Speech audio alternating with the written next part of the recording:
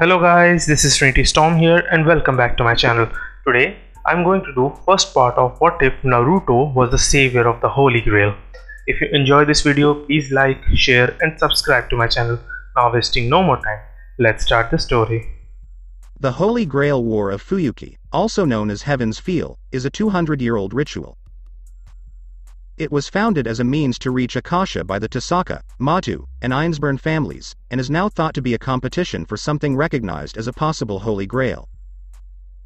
The Grail chooses seven Magi as masters and allows them to summon seven servants to do battle with their help. The winning pair is supposed to claim the Holy Grail and use it to grant each of them a wish. Its true purpose is to use the seven servants returning to the root to form a direct path to it. Saber, Sword Servant Lancer, Spear Servant Servant of the Bow, Archer Servant of the Mount, Rider Caster, Magecraft Servant Servant of Madness, Berserker Servant of the Shadows, Assassin. Those seven, along with seven Magus, fight in the Holy Grail War to have their wishes granted. Those seven servants keep the Grail balanced in the path to the Akasha open.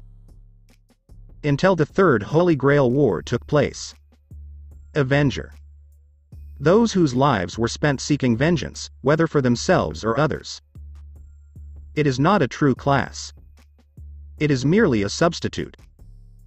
It was never intended to be used, because few heroes of the past could have filled the category, and the gifts of being an Avenger were rarely welcomed. The person known as Avenger had been summoned out of frustration and slaughtered before the folly could be discovered. In life, he had been a sacrifice for all that is sin, all that is evil, all that is abhorrent to mankind. He had done what he had done in life in his death as a servant, so it was not the soul of an innocent, but the soul of an avenging hero that was swept into the Holy Grail. No. What it was. What it is. It is called sin. It is the Antichrist. It is everything that humanity despises, despises, and despises about itself. All of this and more was poured into the Holy Grail until it was no longer what it had been.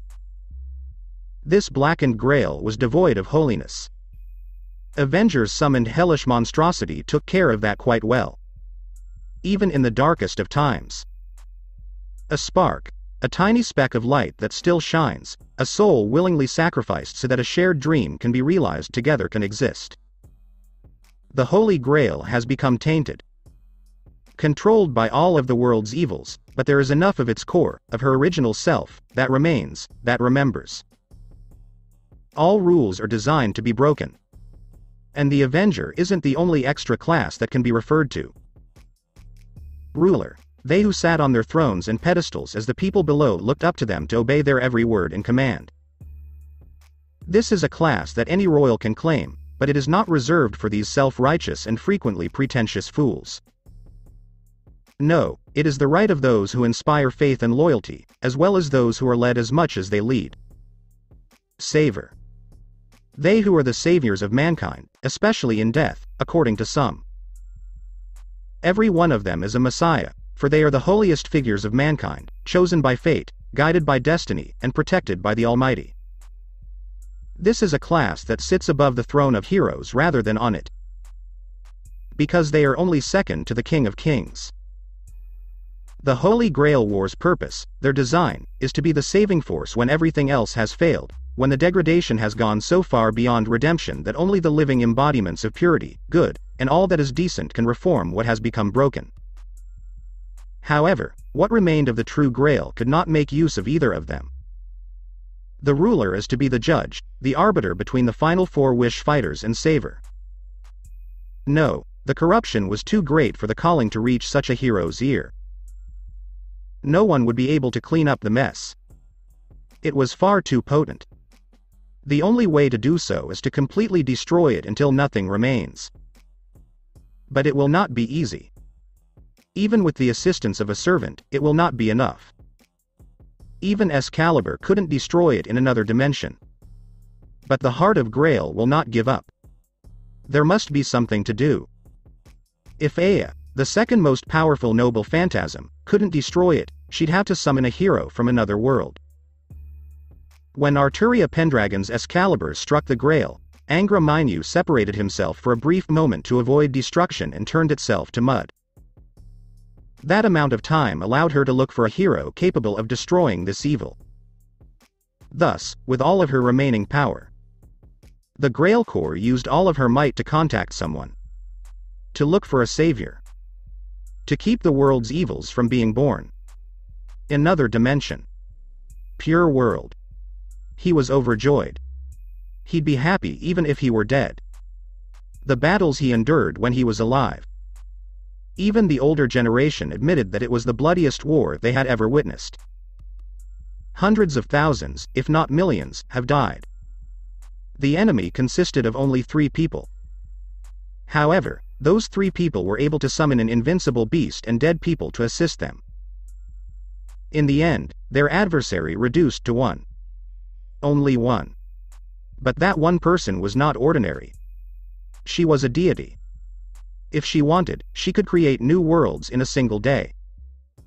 She could also destroy them. She could bring down a massive mountain with a single punch, and she could launch massive planets like baseballs. She is the death and creation goddess. Kaguya, Otsutsuki. But he eventually defeated her. He defeated the invincible goddess and sealed her back into the moon with the help of his friends, comrades, and family. Thus began his true journey. Fighting with a friend whom he considered a brother.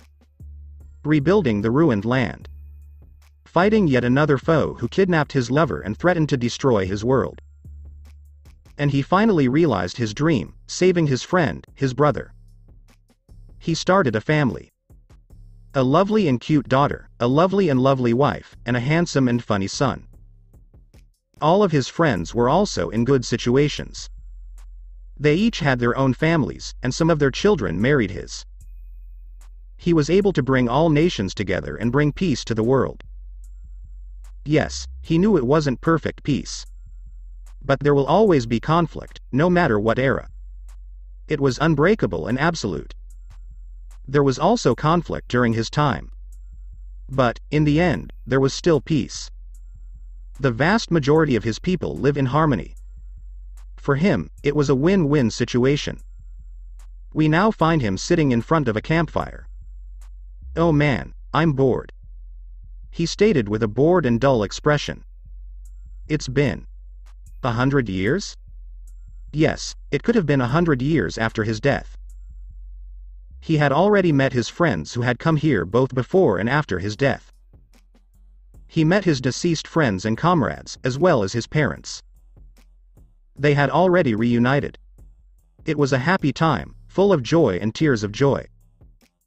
He recalled meeting his daughter with his mother. Ah, yes. His mother squeezed the poor little girl into a bone-crushing hug. But, while it was a happy time, what was it called after spending so many years in this? Pure World, yes. He was bored after spending so many years in Pure World. He's already been here for a long time. He and his friend were unique among the other souls in this place. They have the chakra of Rikudo Sennin. They both have a unique soul. While they are still dead, his soul is as strong as it was when he was alive. He may have lost most of his abilities in here, but he was still a hell of a fighter. A light appeared not far from his location, drawing his attention. Alright, who is dead and came here?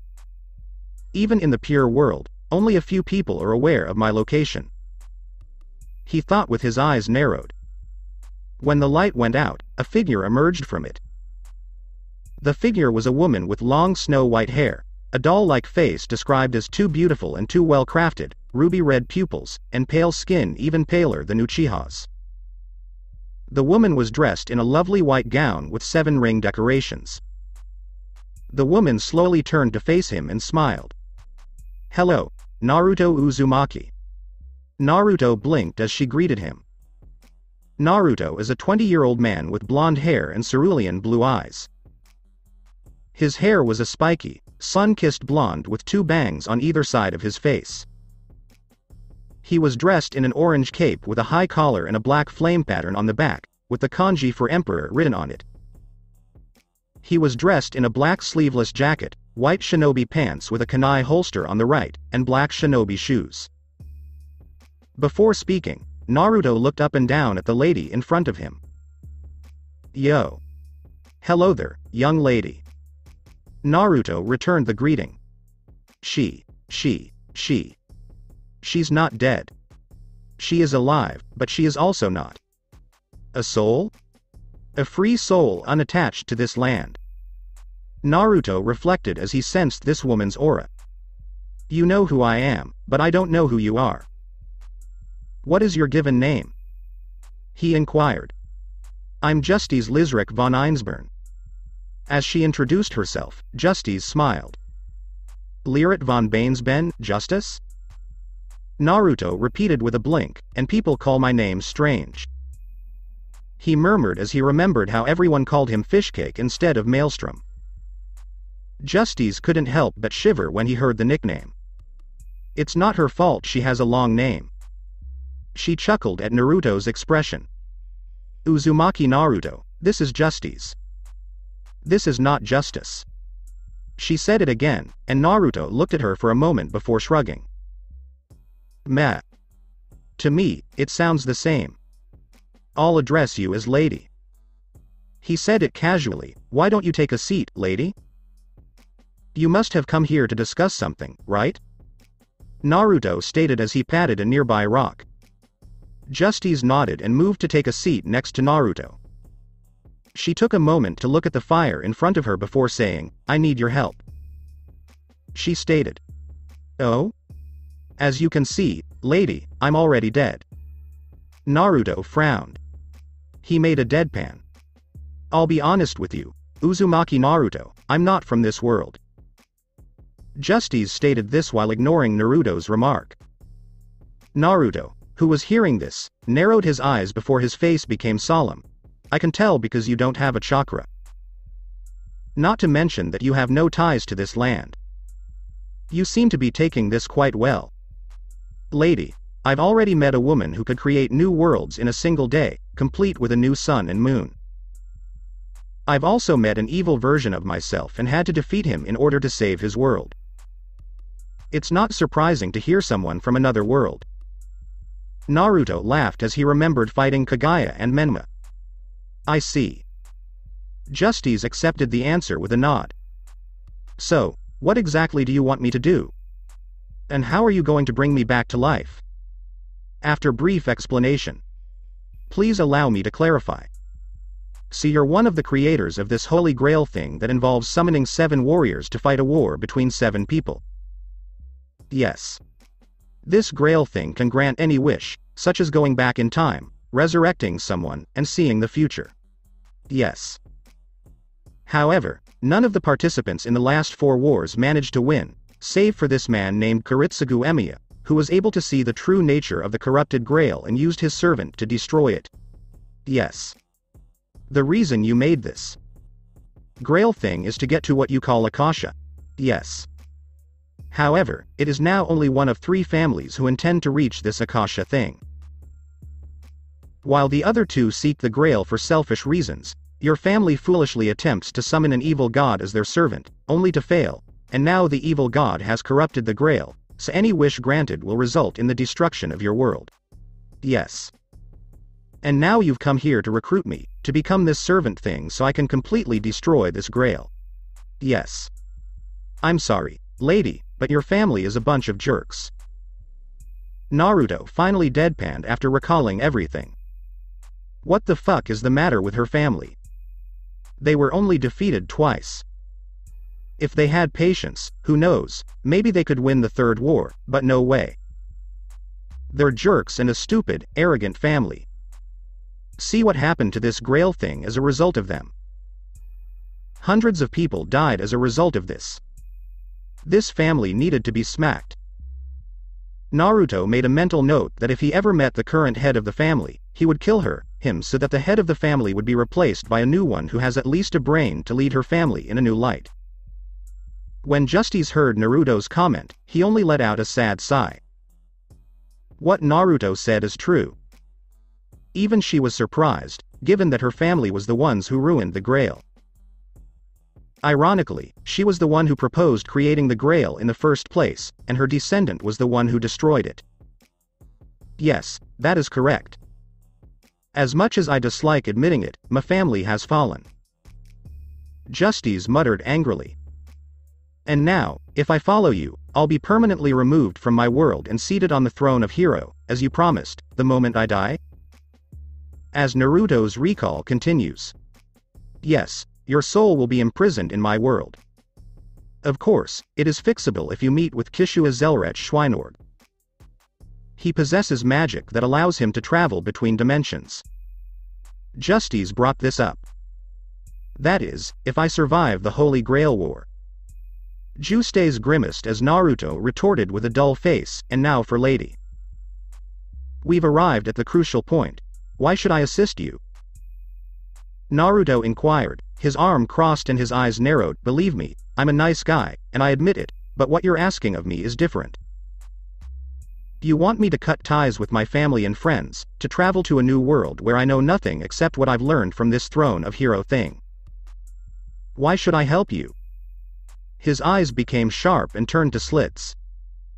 Justice turned to face Naruto, her face solemn but with a hint of pleading in her eyes. She sighed and returned her gaze to the fire in front of her. I know I don't deserve your assistance. I came here uninvited, barging into your world, then asking for your assistance, but you will be separated from your entire family and entering a new world that you were unaware of.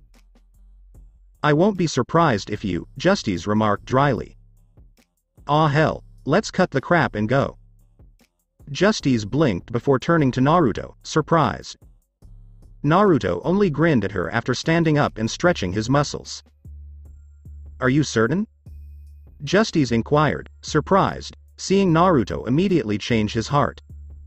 Yes, yes, yes. Now wait a moment while I say goodbye to my family. Naruto replied by waving his hand. There's a chance you'll never see them again. You sure you want to do this with all of your friends and family? Lady, when I say yes, I really mean it. My ninja way is to never back down from my words. Naruto stated with a smirk. Justice was taken aback. She can't believe this man, who she barely knew, was willing to give up everything to help her. But he has already given so much to assist her. Thank you. Naruto Uzumaki, she said with a beautiful smile on her face and joy in her eyes. She stated truthfully. Hey. Don't bring it up. By the way, what about my strength when I enter your world? How strong will I be? Naruto inquired. That's right. Of course, you will return to your prime condition. But, because you come from another world, there will be something that will not be returned to you. Justice responded, and Naruto nodded in agreement. If he was back in his prime, he'd still be a badass. He had a feeling he wouldn't be able to use Rikudo mode again. That mode was overkill, so it was understandable. In that form, he was easily capable of destroying a god. Not to mention Gudama, truth-seeking ball. That tiny sphere was obviously dangerous. It has the ability to destroy anything. Not only did it destroy, but it also turned everything it touched into nothing. Gone. Disappeared. It obliterated its existence. He admitted that the thing was dangerous. Well. So, then. I'm going to say goodbye to my family. Wait a minute, Justice. Naruto said as he ran away. It's Justice. With a sweat drop, Justice murmured. His family is nothing out of the ordinary. He was well aware. They had a Magus ancestry, but it wasn't anything special like Tohsaka, Matou, or Einzberns. His family has only five generations and is not as wealthy as the other three. They do, however, specialize in formal craft and witchcraft. Despite the fact that many members of the Mages Association thought it was inefficient and useless. That made him laugh. Formal craft and witchcraft may appear simple, but they should not be underestimated. Formal craft and witchcraft, with a good connection, knowledge, and plenty of prana, can be quite dangerous, if not fatal. Tu-san. Tu-san. When he heard a familiar voice calling him, he blinked. He turned away from his work to see it was his daughter who had done it. When he saw her, he smiled softly. In his family, his daughter is a blessing. Even though she is only 18 years old, she has already surpassed him in their family's magic. Because of his daughter, their Formalcraft magic had expanded beyond what he could imagine. Granted, she only had average magic circuits for a Magus, but they were rich and even powerful. What exactly is it, darling? He smiled at his daughter. His daughter slowly lifted her pale hand, revealing an unusual tattoo on the back of her hand. His eyes widened the moment he saw it. This appeared on my arm while I was at school today. She explained. It was called Command Spell. Meanwhile, in Throne of Heroes, with a certain shinobi. This is even duller than Pure World. Naruto did a deadpan. After saying his final goodbyes to Hinata, Himawari, Bolt, Minato, Kushina, Iruka, Rookie 9, Sai, and Team Guy, as well as everyone he knew. He immediately returned to Justice, and the two of them left. His family and friends were hesitant to let him go because it meant they wouldn't see him again. But when Naruto pointed out that he might be able to meet them again because he only needed to meet with someone named Zeret or something, they let him go. After all, they were familiar with Naruto. If there was one thing that was certain, it was that Naruto Uzumaki never broke his word, and it was always proven true. Of course, his parents expected another grandchild if he was going to be gone for an extended period of time, much to Naruto's chagrin. While he is loyal to Hinata, after spending so much time in the living land in the pure world with Hinata, the Hyuga women could eventually accept Naruto having a concubine. Hinata was always too kind for her own good, which isn't a problem since they're both dead. Sure, she can be terrifying when she's jealous, but if she allows it, she means it. Though Naruto only had Hinata as a wife in real life, the pure world is a different story. He and Justice went to this throne of heroes thing after saying their goodbyes to everyone. Justice stated that she can no longer visit him because she is on her last power. After transforming Naruto's soul, she dissipated into particles. The throne of heroes is the place where the hero dies or the hero's mindscape. So Naruto found himself in a large white space, the same space he found himself in when he met Rikudo Jiji and gained his power. Surrounding the large white space are numerous shuriken, kunai, including the special kunai he created to use Hiraishin no Jutsu, Flying Thunder God technique, a few giant shuriken, special tantos and swords forged to be stronger than normal steel, sealing scrolls containing his stuff, and other items. Naruto is not a collector in any way. Sure, he has a few cool items, but the majority of the items he gathered aren't noteworthy. However, he does have a trench knife similar to the one Asuma Sarutobi has. It allows him to channel any type of chakra into it and is 10 times more powerful than Asuma Sarutobi's, which was his primary weapon aside from kunai, shuriken, and his fists. But now that he's seen all of his possessions, he wishes he'd been a collector all his life. Imagine if he had Kusanagi, Samehada, the petrifying gauntlet, and other cool abilities he'd be able to use it in future battles. Not to mention how jealous that Teme Sasuke would be. Ha.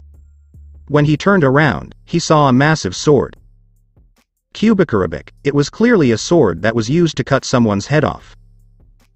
The demon of Kirigakure's sword. Kakashi returned the sword to the Mizukage after the final battle of the Fourth Shinobi War. However, because of his positive relationship with the Mizukage, it was given to him as a gift and in memory of Zabuza. He didn't use that sword very often because it didn't belong to him, but he did use it occasionally. He can't help but feel relieved now that he sees the situation. He couldn't wait to see how this world reacts when it sees it drink blood. I'm curious what the other heroic spirits are up to in their own throne. As he drew a card, Naruto murmured. After seeing the numbers, he threw it away. Thuck. I'm bankrupt. He yelled as he threw three cards, 5 spades, 10 spades, and 8 hearts. Before showing his card, the clone in front of him smiled triumphantly, hey. I'm 18. 8 heart and jack. Much to Naruto's chagrin, Naruto C stated. In gambling, he was unbeatable. He never lost a bet in a casino, as a matter of fact. But how his clone outperformed him in a card game remains a mystery. Kurama, a massive nine-tailed fox, is not far from Naruto's position. Naruto was overjoyed when he saw his old friend again. He even jumped in delight and proceeded to insult the fox so they could resume their ranting and insulting each other. But he came to a halt when he saw the fox eyes. True, the fox wasn't as big as it once was, and it only had half of its power, just like when his father sealed it into him, but his eyes meant nothing. Its red eyes, which used to gleam with annoyance, grumpiness, and sarcasm, are now empty. Naruto realized at that point that the fox in front of him is not Kurama. The Shinigami from his world only bonded the fox's chakra to his soul. It had no consciousness and only functioned as a puppet. It saddened him to see something that resembled his friend acting in this manner. Another boss in the game? Naruto C inquired, breaking him from his reverie. You clone, go to hell. Naruto yelled as he kicked the clone in the face, clearly upset about being defeated by his own clone. He was the first. How can he always lose to his own clone in gambling? Then he grimaced as the clone vanished and remembered kicking his own clone. After a brief moment of silence, he leaned back and lay on the ground, staring at the empty white space these valorous spirits. According to Justice, they are people who have accomplished great things in their lives. They are mostly strong and good fighters. Naruto believes they are at least Junin level strong. He learned that there are 10 classes, Saber, Lancer, Archer, Caster, Assassin, Berserker, Avenger, Saver, and Ruler. Berserker is without a doubt the strongest, Saber, Archer, or Lancer are the most skilled in battle, Assassin is the most lethal to masters, and Caster is the best defender. Naruto rubbed his chin and made a thoughtful expression. The world where this holy grail thing happened appears to be more technologically advanced than his own. Though his world won in medical terms, technology is a different story. Does that mean there will be more fun things?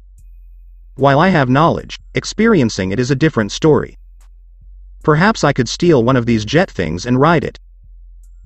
I have a riding skill, so this shouldn't be too difficult. Naruto laughed uncontrollably. He blinked as he became aware of his body shifting. He looked down and noticed his leg morphing into particles, and then his entire body. A grin appeared on his face. It appears that he has been summoned. Great. What grade will he be? And who is the person who summons him?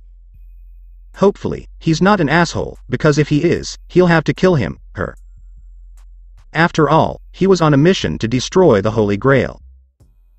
And he can't be bothered by a jerk like Master. He could already see that he could stay on this plane as long as he gathered natural chakra. Then it was fine if he was masterless. In fact, it was preferable if he worked alone. Despite the cost, he would be limited to a rank ninjutsu and a plus at most. He couldn't enter Kyuubi mode in that state, and even if the new Kurama helped, it would take a long time to regenerate his power. He closed his eyes and allowed his body to dissipate. After a brief moment of feeling the ground beneath his feet, he slowly opened his blue eyes. He was dressed in the same outfit that he was wearing when he died, an orange high-collared short-sleeved cape with the kanji Emperor on the back, a black long-sleeved jacket underneath, and white shinobi pants with black shoes. He no longer wore his headband as Emperor. Instead, he wore a Hokage-style hat, but instead of the kanji fire and red color, it had the kanji Emperor and was orange. He raised his hand and touched his hat, then looked at the people in front of him and smiled. I'm Naruto Uzumaki, God's conqueror, emperor of shinobi and samurai. Which of you invited me? Dattebayo. In the meantime, in Fuyuki City. Kirei Kotomine, mediator of the Fifth Holy Grail War, was sitting in the church at the time. He'd been bored for the past ten years. After finally realizing the nature of the Grail and discovering that it was an existence that should not have been born into this world. Just like him. He was a man who found joy in the suffering of others. In the last 10 years, he has enjoyed his time when people came to him for advice on their problems. Instead of helping them, Kirei pointed out their flaws, making them more depressed, sad, and suffering. When he saw their expressions, he was ecstatic. However, after they had finished their torment, Kirei gave them some useful advice for the future. After all, he was still the father of the church. While it was enjoyable, it was nothing like the fires of the Grail that burned Fuyuki City ten years ago. Kirei remembered the pleasure and joy he felt while watching the entire city. He remembered how full his laugh sounded, and it was without a doubt the biggest laugh he had ever let out. He'd always wondered how a being like himself, who reveled in other people's misery, could have been born. When he discovered the truth about the Grail, he realized it was a larger version of himself, and completing it would allow him to find the answer to his lifelong question. And now the Holy Grail War is back. Kirei looked down at his hand, where the command spells were. Before the Holy Grail War began, he obtained them from his former comrade, Bazett Fraga McRemitz. He took Lancer from her and now had the servant of Spear Scout for him, gathering intelligence on war participants. This time, Kirei ensured that the Grail was completed and that Angra Mainyu was born. So he can finally get the answer he's been looking for. Hum? Kirei blinked as another Grail card, the one depicting summoned servants, flashed, ah? A new servant has been called. I wonder what class I'm in now. He reflected as he flipped the card to reveal the servant class. The card was warm and yellow, and it depicted a man descending from heaven like an angel, his hand extended in a helping gesture. Kirei blinked again when he saw this. What kind of card is this? Saver? Kirei muttered, slightly surprised. He'd never heard of a servant of the Saver class before. Yes, Avenger had heard of that servant being summoned during the Third War. But Saver is different. He's never seen or heard of one. Berserker, Caster, Lancer, Assassin, Rider, and now Saver are the current classes that have been summoned, totaling six servants. Why did another class appear when Archer and Saber were still not summoned? Is Saber going to take the place of Archer or Saber? Or it will appear as an additional servant. Perhaps. Interesting. I can't wait to meet this servant's master. Kirei smirked as he thought. Several days later. To the origin, silver and iron. The Archdukes of Contracts and the gem to the cornerstone Schweinorg, my great master, is the ancestor. The lighted wind transforms into a wall. Coming from the crown, the gates in the four directions close, and the three-forked road leading to the kingdom circulates. Shut, shut, shut. Shut, shut, shut, shut. Repeat five times more. Simply shatter when full. I make an announcement.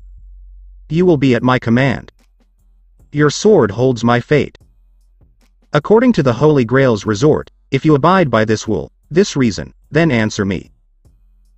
This is my oath. I am the one who becomes all the good of the dead world, and I am the one who lays out all the evil of the dead world. O keeper of the balance, you, seven heavens clad in three words of power, have arrived from the ring of deterrence. Flash. The moment the Magus finished its chant, a bright light engulfed the entire summoning room. Then. Boom. The entire room was engulfed in an explosion. It's not a flashy one, just an explosion accompanied by crimson lightning. It blew away everything in its path, creating dust as a result of the filthy environment. Tohsaka Rin, the current heiress of the Tohsaka family and Homurahara Academy's number one school idol, coughed and covered her mouth as smoke filled the room she had used for her ritual. It was nighttime, to be more specific, it was the time when her power was at its peak. so it was time to carry out the most important ritual she would ever carry out in her entire life. The ritual she was performing was to summon a servant to participate in the Holy Grail War. Her command seals appeared on her hand not long ago, indicating that the Grail chose her as a master. So, in order to summon a good servant, she needed to be at the pinnacle of her power and ensure that nothing went wrong. That was perfect. I know I got the most potent card. Rin exclaimed enthusiastically as she began to look around. She also had a responsibility as the second owner of Fuyuki City to ensure that no innocent blood was shed during the war, which was one of the reasons she needed to summon a powerful servant.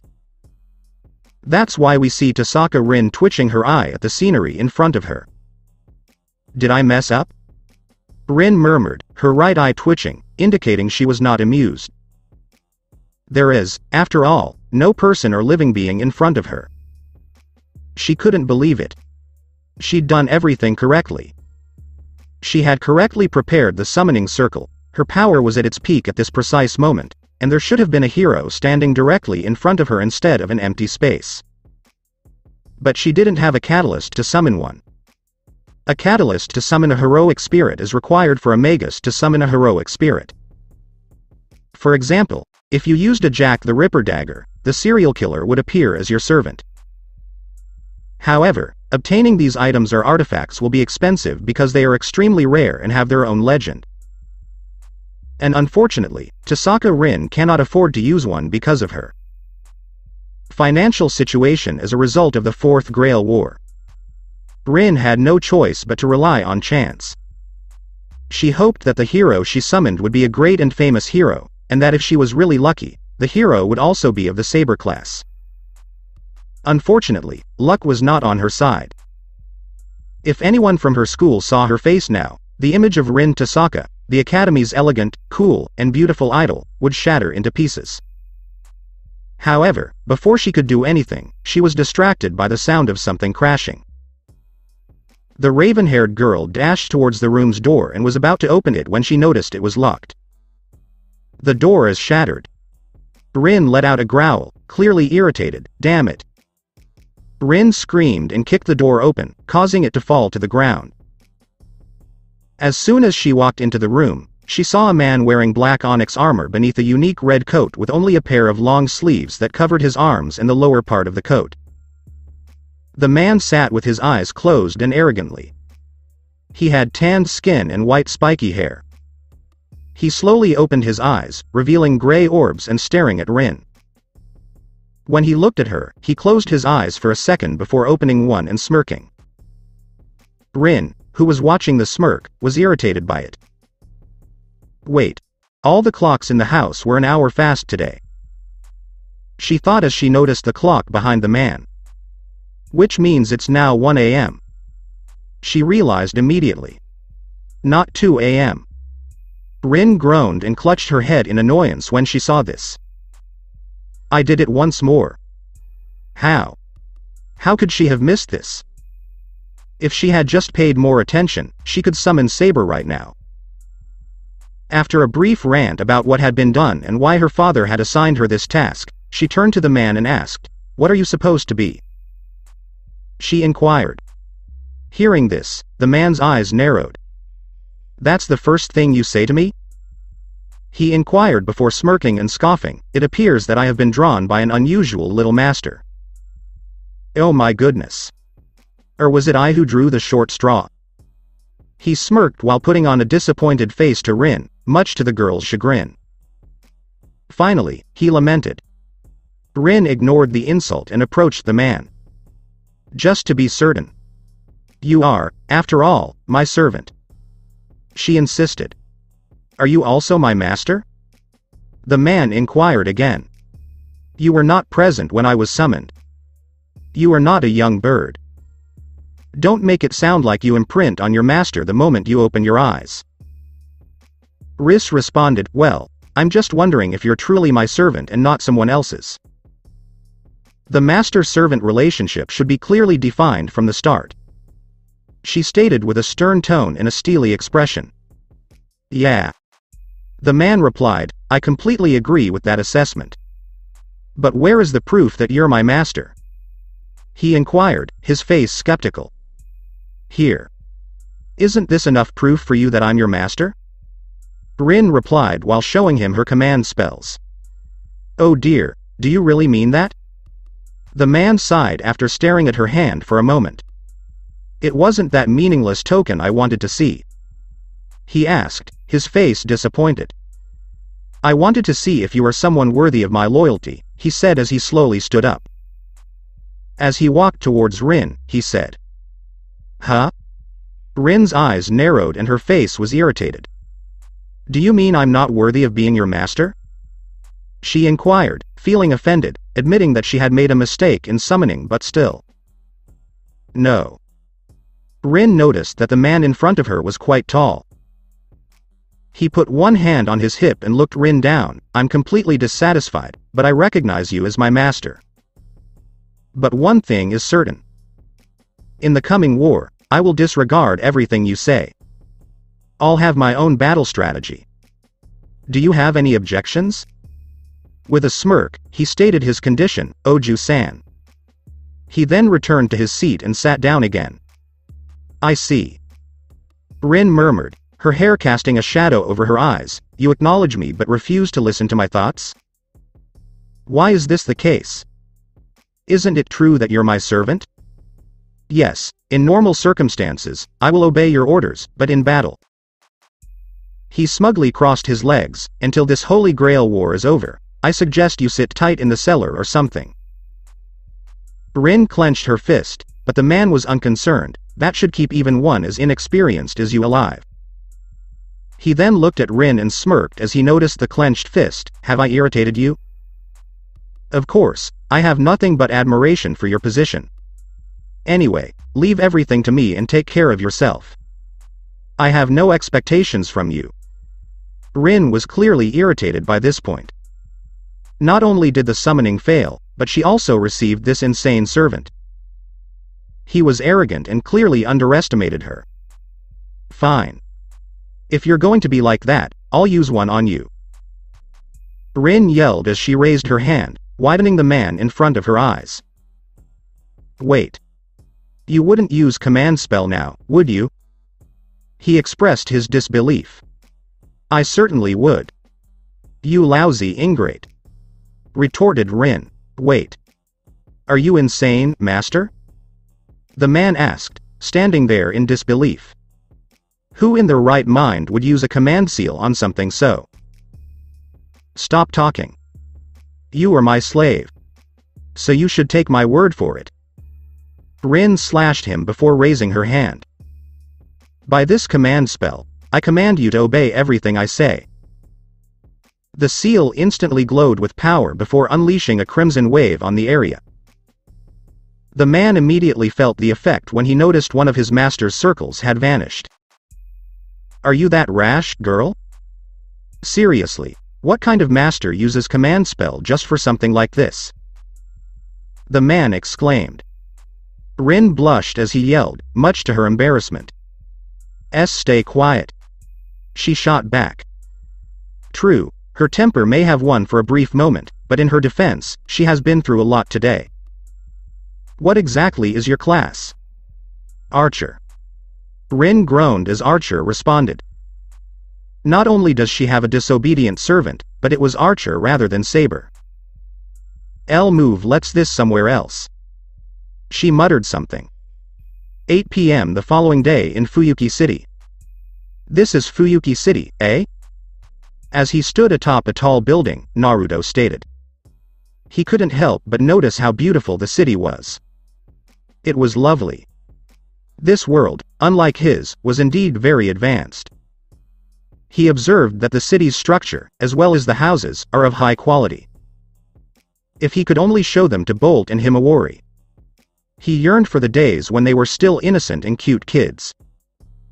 Ah, the good old days as a father. This city was also abundant in nature energy, or whatever it is called in this world. Mana, you're right. This city has a significant amount of mana. It is not as rich as MT. Myoboku, Ryuchi Cave, or Shikkotsu Forest, but it is adequate for a normal city. Particularly in a few areas of the city, such as Ryudo Temple and Mount Enzo.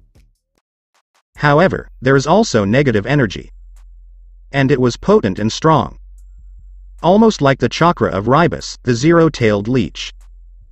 It was called the Dark Chakra because it was filled with hatred and dark emotions, and Naruto noticed it coming from Central Park.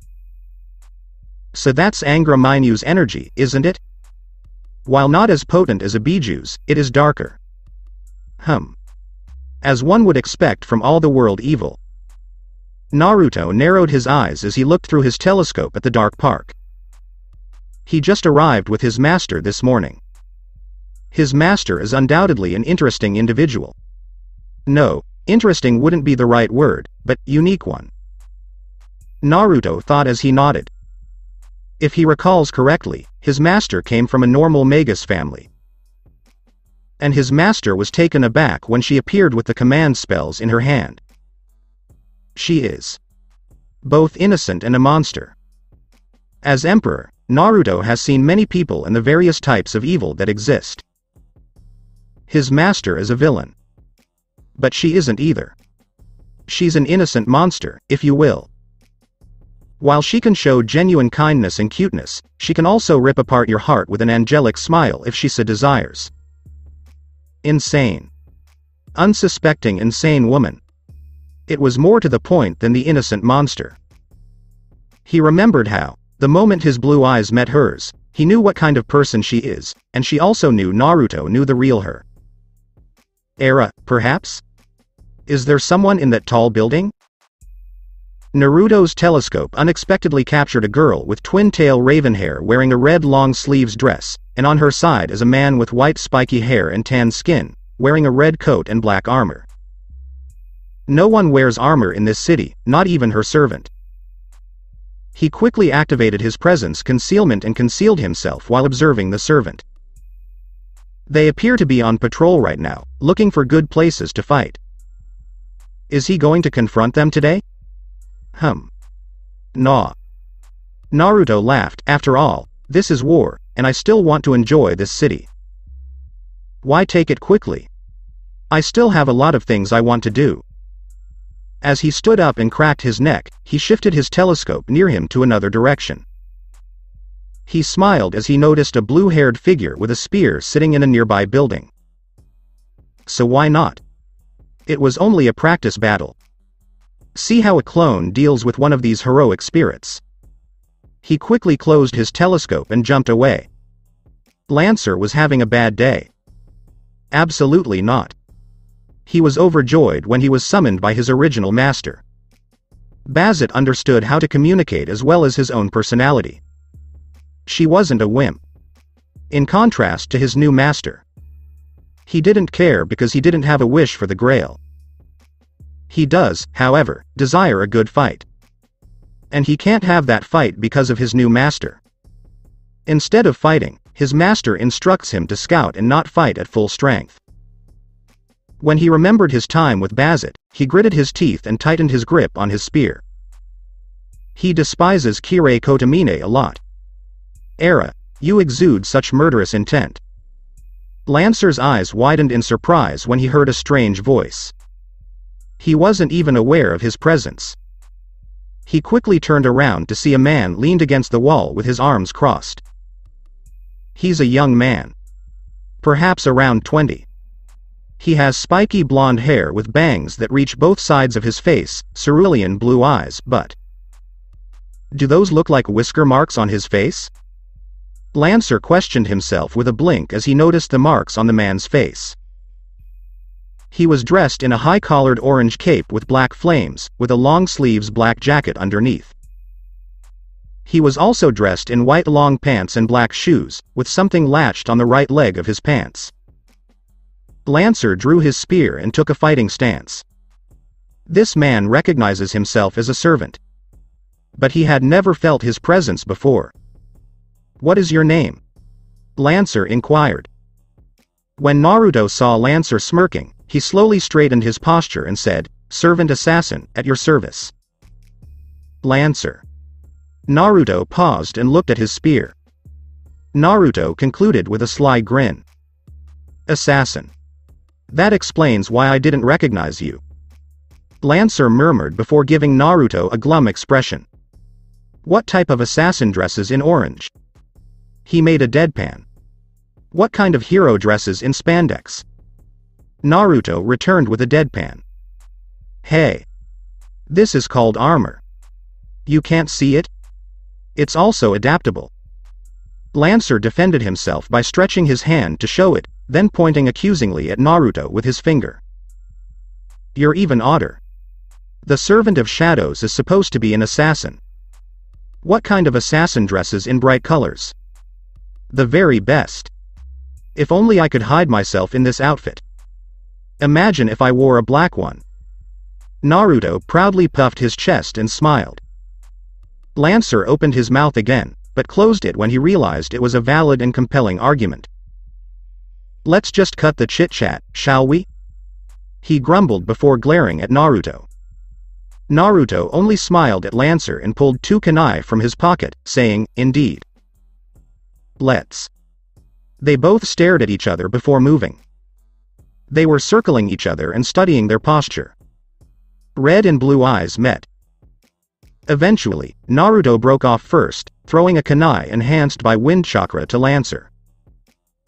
Lancer swiped away the kunai before moving his spear and blocking Naruto's slash. Naruto drew another kunai from his belt before twisting his body and delivering a horizontal slash. Lancer drew his face back, avoiding the slash, before spinning his spear and pushing Naruto away. He moved his leg before leaping at Naruto and launching a barrage of stab attacks at his head. Naruto straightened his leg and used his two kunai to deflect the numerous attacks. He swiped his body and delivered a heel kick, which Lancer blocked with the pommel of his spear before pushing Naruto away and slashing him. Naruto dodged the slash before twirling the kunai in his hand and unleashing an uppercut slash on Lancer. Lancer leaned back and jumped back, a grin on his face before his eyes widened when a cut appeared on his cheek. W what? Lancer pressed his cheek against Naruto's grin. He then noticed Naruto's kunai had a white invisible aura around it, as if it were covered by wind? Did you notice it? One of my abilities is to channel my chakra I mean prana into my weapon and lengthen it. Naruto explained as he twirled the kunai in his hand and gripped it in the opposite direction. The next time, it'll sever your head. Lancer prepared himself as he took another stance. This man is excellent. That ability is both very good and clearly dangerous. How far can his kunai be stretched? Does it qualify as a noble phantasm? If he makes a minor error, that kunai will sever his head. Well. He's not too bad. He's fast, not as fast as me at full speed, but his skill is unrivaled. He is very skilled, whoever he is. At least this day wasn't completely dull. Lancer smiled as he thought. True, he couldn't go all out because his master had compressed his power with that command seal, but this man in front of him is no slouch. He's great. In fact, it was unusual to meet a spear wielder in my world. Well, that doesn't mean I've never fought with a long-ranged weapon or technique before. Naruto thought as he stared at Lancer. Lancer smiled as he heard the remark. This man was entertaining. Of course, assassin, he said as he prepared his spear, emphasizing the word, assassin. Naruto, who understood what Lancer was saying, noticed that Lancer was lying. He wasn't surprised. A man like Lancer can tell when someone is lying after clashing blades with him. Naruto dashed forward, both kunai in hand, without another word, and Lancer did the same. Clang, clang, clang. Clang, clang. G-A-A-K-I-N. They engaged in melee combat once more, but this time Lancer went offensive, increasing his speed and displaying his superior spear skill. Meanwhile, Naruto avoided or parried all of the attacks. He realized that if he hadn't enchanted his weapons with chakra, the Lancer spear would break. His weapons aren't noble phantasms, but if he uses chakra manipulation on them, they become D or C level noble phantasms, depending on the weapon. The better the material, the better the weapon. Naruto jumped and dodged Lancer's slashes before spinning his body and delivering a kunai slash. Lancer moved his spear's pommel and blocked the attack before delivering a vertical slash to Naruto in the air. Naruto moved his other kunai and parried the attack before crouching and kicking the ground. Lancer spun his spear and blocked Naruto's slash. He had already destroyed Naruto's weapon several times, but the self-proclaimed assassin summoned another kunai and transformed them into another weapon, much to his chagrin. He stabs Naruto, but the shinobi avoids it by kicking the other side of the spear and using it as footing to deliver a heel kick. Lancer draws his body back before twisting his body and performing a spinning slash. Lancer grinned as his attack reached Naruto, but his eyes widened as Naruto, poofed, into a kunai.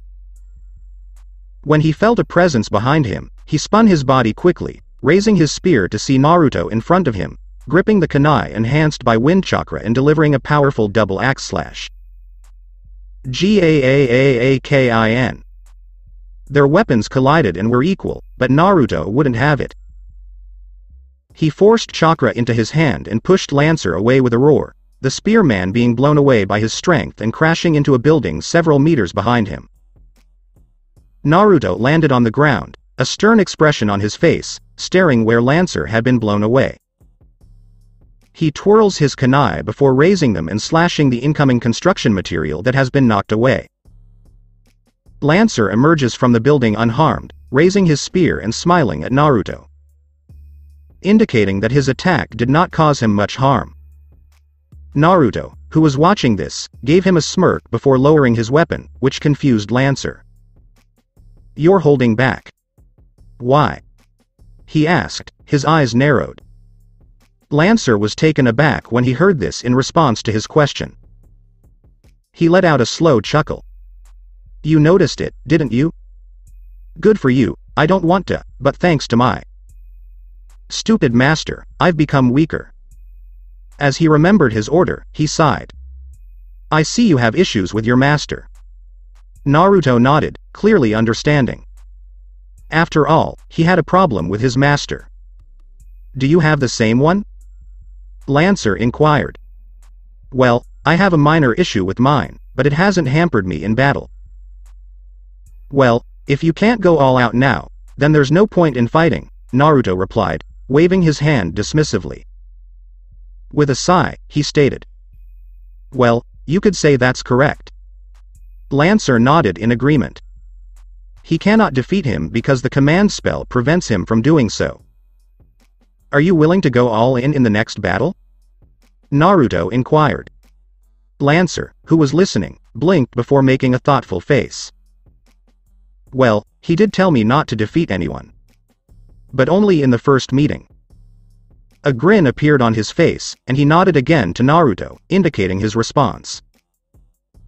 Naruto grinned back at him, satisfied with the answer, Great, you are a skilled warrior, it would be a shame to kill you in this state. He said this as he turned to leave. Lancer called out to him, Wait. As he was about to leave. Naruto turns around to face him. Are you the real assassin? With his eyes narrowed, he inquired. He simply cannot believe this person is an assassin. While he did have presence concealment and his weapons were similar to one, his aura. His aura is not that of a typical assassin. And his eyes aren't those of a man fighting in the shadows. Yes, there's a hint of a man fighting in the shadows, but these are also the eyes of a warrior, and more importantly, a leader. Not to mention his fighting style. True, he fought like an assassin, using agility and the element of surprise, but he also fought with the bravery of a warrior. He then noticed the kanji for emperor on the back of his coat for the first time, causing his eyes to widen slightly. Is it possible that he was an assassin before becoming emperor? But that was absurd. He'd never heard of a heroic spirit who was an assassin before ascending to the throne. When Naruto saw Lancer, he simply smirked over his shoulder and said, You saw my fight and my skill, if I'm not an assassin, what servant am I? As he stated, and, for the record, I was also holding back a lot. The real me runs his own company. Before Lancer could ask what he meant, Naruto burst into white smoke, making Lancer gawk. Did he go up against a clone? Or perhaps a shadow? Now that he has explained and demonstrated his assassin abilities, it is clear that he is an assassin. He was silent for a moment before breaking into a grin and laughing with his head thrown back. That skilled assassin, but he fights with honor and bravery. How many people are like that? He was clearly intriguing. He calmed himself after a moment and sighed, his grin still on his face. Perhaps this war won't be as bad as I thought. Lancer had a hopeful thought in his head. He had no idea he'd run into a second assassin today, which would leave him befuddled. Together with Kirei. Kirei had a thoughtful expression on her face as she heard and saw what Lancer did. This assassin was clearly special. Instead of Hassan-i-Sabbah, another assassin was summoned, indicating that this one is a false assassin. But how did this one come to be? Is there something bothering you, Kirei? A proud and arrogant voice inquired. Kirei turned to the source of the voice, his eyes blank and emotionless. Not too much, my king. It's just about the strange assassin who was summoned, Kirei explained. Hearing this, Gilgamesh furrowed his brow, oh? How about the worm? He inquired. He's interesting. He exhibited unique abilities, and it appears he was an emperor during his life. I'm just curious how an assassin became emperor during his life. Gilgamesh sneered as Kirei responded. That worm proclaiming himself emperor? Not only did he pretend to be king, but he also dared to taint such a title with his low class? Truly a haughty worm. Perhaps I should visit this worm and exterminate him now, Gilgamesh said, disgusted. I don't mean to diminish your role as king. But because the war has only just begun, we don't know whether the saber class will be summoned or not. Not to mention, isn't it your responsibility to exterminate assassin? Kirei inquired because he did not want Gilgamesh to reveal himself too soon during the war. When Gilgamesh heard that, he began to think about it. True, killing a worm-like assassin is not a job fit for a king, as Kirei stated. I suppose you have a point. Yes, I'll let the dog get rid of this worm. After all, a king should not taint his hand by coming into contact with worms. Gilgamesh agreed before his eyes narrowed. And do you have any information about this saver class? No. The master of the servant has not yet arrived at the church. HMPH. I've waited 10 years, and if my saber isn't summoned because of this saver class, I'll make sure this servant suffers, and this war won't last even two days because I'll be the one cleaning up after all those mongrels. Gilgamesh said in a gloomy tone. As you wish. Kirei simply replied with a polite bow. Meanwhile, continue with the original Naruto. Naruto blinked as he remembered one of his clones. He appears to have only met one servant and was at least capable of matching the servant despite both of them holding back. He grinned and grunted, pleased that his clone was capable of going toe-to-toe -to -toe with a servant, even if only for a brief moment. All he had to do now was wait for all servants to be summoned, as far as he was aware, the real assassin, Caster, and Lancer had already been summoned. There was also that red-coated servant, whose class appears to be Archer based on his observation of the city from that tall building. Plus him, it would be six classes. According to his information, there should be seven servants, but it appears that there will be an extra as a result of him. It implies that there are two unidentified servants. Naruto, a cheerful voice interrupted his thoughts, and he saw his master emerge from her room, wearing her angelic smile. Are you sure, Hime? Naruto inquired. I'm just about to finish this story. Naruto is shown her book by his master. It was called The Tale of the Utterly Gutsy Shinobi. Oh? You've already finished it? That was fast. Naruto commented, slightly surprised. That book was quite thick, so he was surprised to see his master finish it in a matter of days. She only laughed at Naruto's response before assuming a dreamy expression, It was an interesting story. I've never read anything like this before. And to think its main character is named after you. While the book is quite foolish, the journey and the quote are fantastic. Naruto laughed as she fawned like some fangirl. Hey. In my defense, I never requested that my name be named after that main character. Though I eventually found peace in my world, you could say my story is a continuation of that book. Naruto's response caused his master to blink. Really? Would you then tell me your story? Why not create a sequel? With a slight pout on her lips, she inquired. I'm terrible at writing Hime.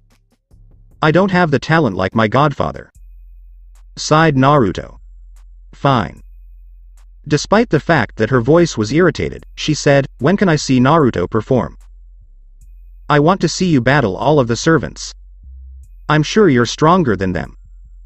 Hime, just be patient. We need more information about our enemy, Naruto replied. After all servants are summoned and I see their skills, we will strike. A good emperor always acts cautiously. He gave a speech. I understand. But I simply cannot wait. I'm hoping that all servants will be summoned soon, she smiled as she accepted Naruto's response. Well.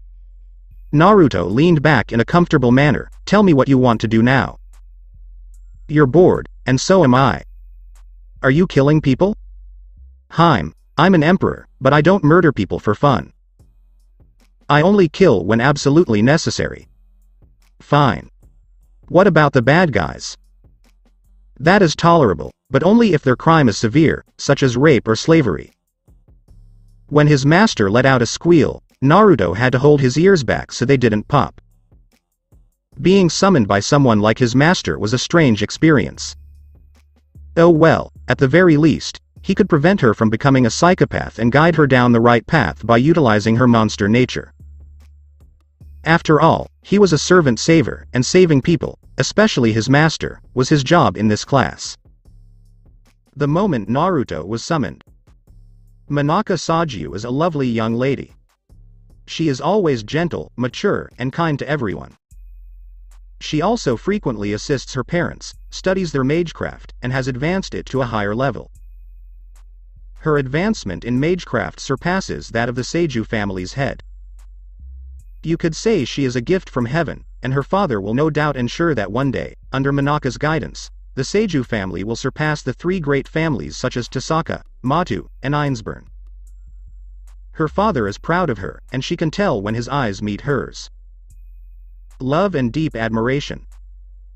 She also looked after her younger sister like the big sister she is, despite the fact that her younger sister is a little meek and timid.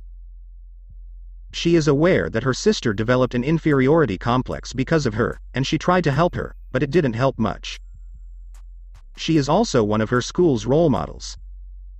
She is smart, beautiful, cute, kind, caring, and gentle. Her innocent and angelic smile even cheered up the few people who were down. She is everything a Magus could want in an heir. Manaka, on the other hand, is dissatisfied. Despite all of her respect, prizes, rewards, praise, love, and successes, she is still unhappy. Don't get me wrong, she's content. She is pleased when she is praised and respected, but only at first. She became bored with being praised after a few times. Yes, she realized what she did was wonderful and extremely beneficial to her family, but it was not beneficial to her. What good is all her magecraft if it can't be used for something? And what was the point of fame and respect if it only made her life more boring? No, none of her claimed accomplishments could bring her joy. She desired to discover something she had never discovered. She wishes to see things she has never seen before. She wants to see the unnatural expression on people's faces when they see her. As in killing people. She never did anything like that. True, she had a pet rabbit before, but she loved it and it enjoyed her company.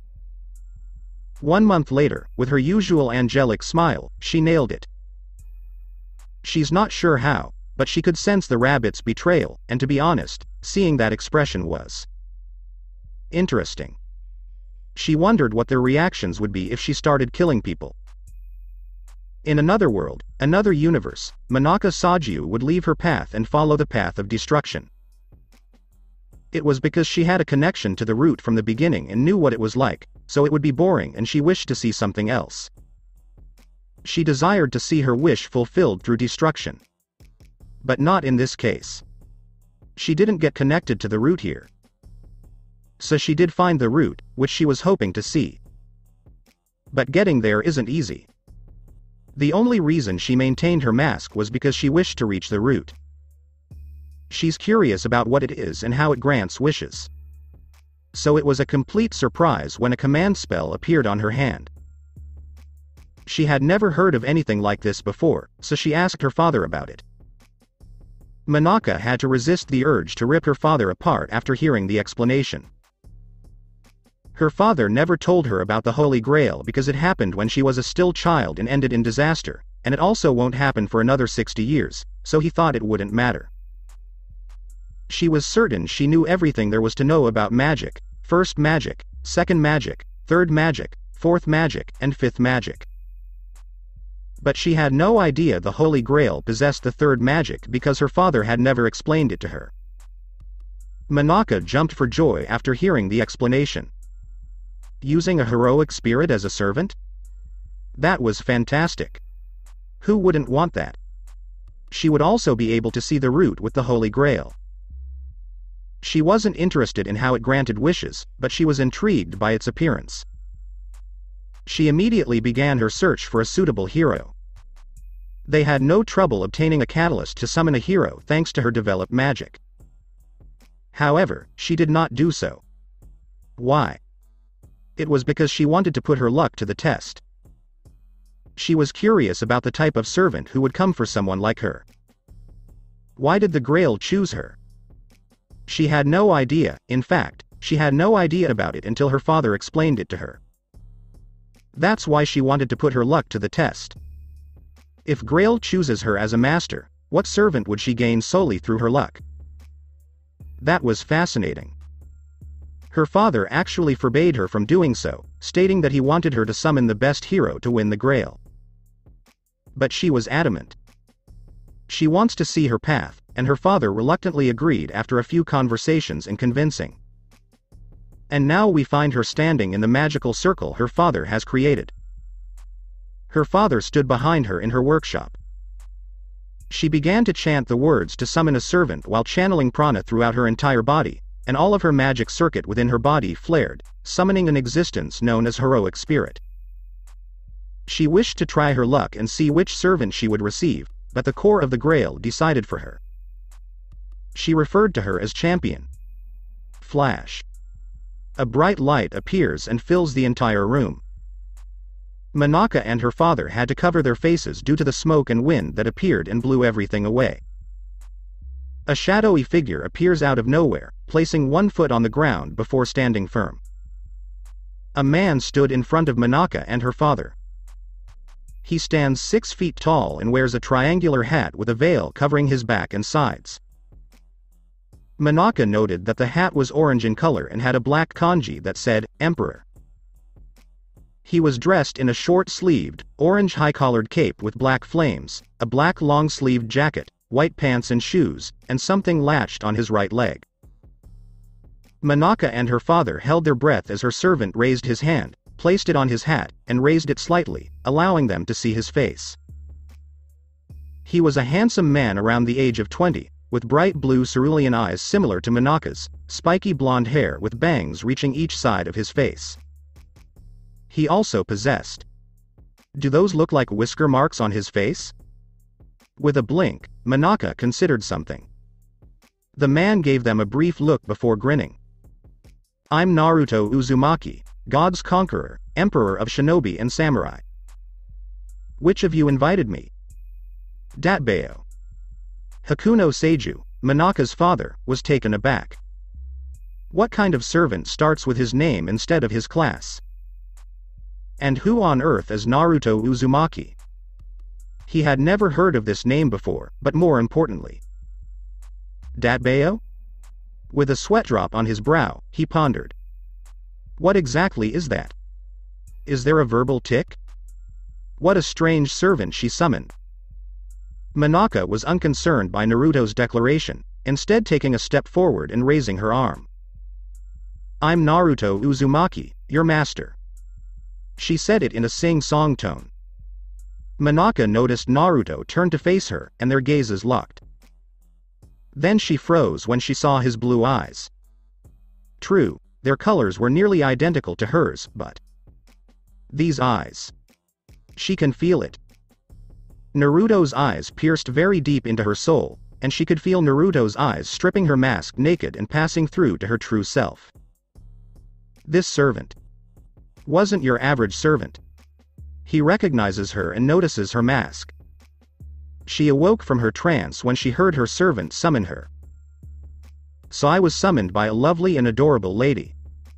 Lady, may I ask what your name is? He inquired politely. Manaka smiled again and rose her skirt in a ladylike manner, giving Naruto a slight bow. My name is Manaka Sajyou, and it's a pleasure to meet you, Naruto Uzumaki. Naruto gave her a brief nod, indicating that he was pleased with the introduction. That means you're the one who called me in. So, first we'll get to know each other, and then we'll talk about the impending war. He pushed his hat to the back of his neck, allowing it to hang down to his backhead and reveal his blonde hair. Nice to meet you, Manaka-chan. He said to her with a smile. Manaka locked her gaze on her servant. He was truly intriguing, and she could tell he was sincere. Even after witnessing her true self, her desire to harm others, this man does not appear to be bothered by her. Normal people would be bothered or even terrified if they saw her true nature. However, this man. Not even frightened or disgusted. A typical one. Interesting. Excuse me, Naruto-san, but what class do you belong to? For the first time since the summoning, Hakuno, her father, spoke.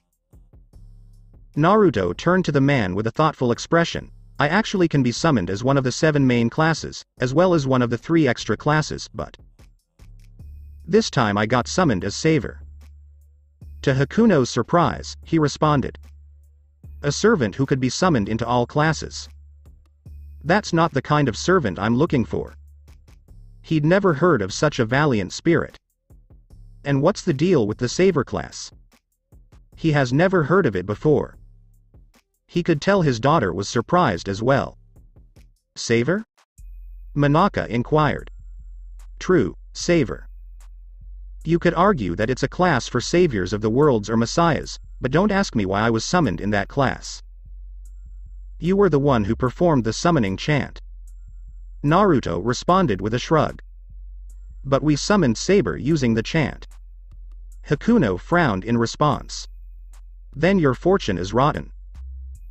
Naruto stated flatly, much to Hakuno's chagrin, as his direct response irritated him, why don't we just take it somewhere else?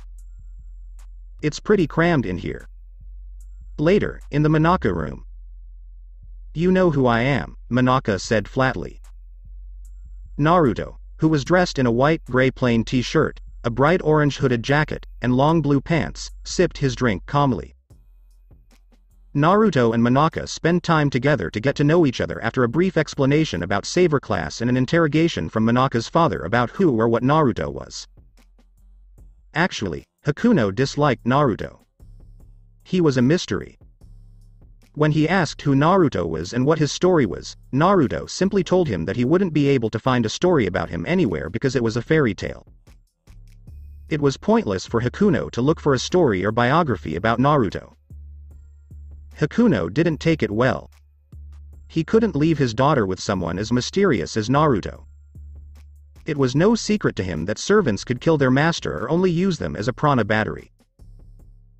So, while Hakuno was looking for Naruto's story, he gave Naruto and Manaka some time to get to know each other.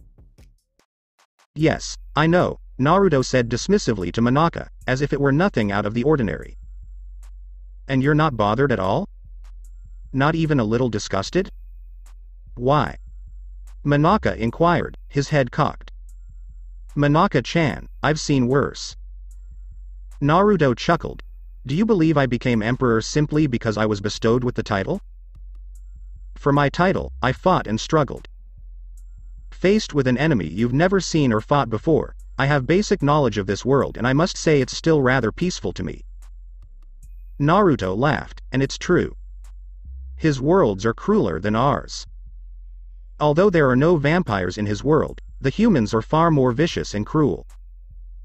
They never stop fighting. Children are sent to fight, even if they are not yet of fighting age.